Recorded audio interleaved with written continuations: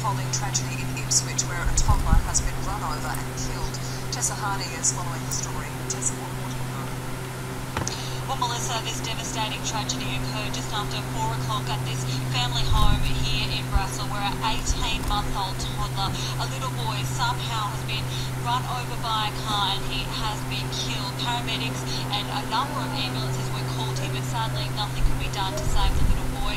It's understood uh, a family member was behind the wheel at the time. Now, most of the investigations from police today have focused on that driveway, which is quite steep behind me. You can see a couple of cars in the driveway. There's also a, uh, a boat and a trailer in the vicinity too. Police are now working to figure out how this happened. Neighbours have told us it is a family who lives there, parents and their two young children.